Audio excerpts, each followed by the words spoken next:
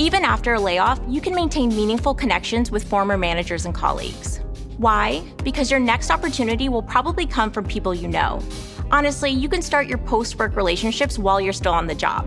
First, ask your manager to be a reference by speaking to potential future employers. Also, ask your colleagues if you can stay in touch. Follow up, ideally before your last day, about what you want to do next, opportunities they see, and how they can help. Finally, remember that future employers and current colleagues may see your social media activity. You want them to draw positive conclusions about your skill set and your level of emotional intelligence. From personal experience, I know how frustrating it is to be laid off.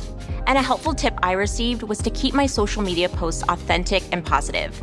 That helped me maintain key relationships with my former colleagues.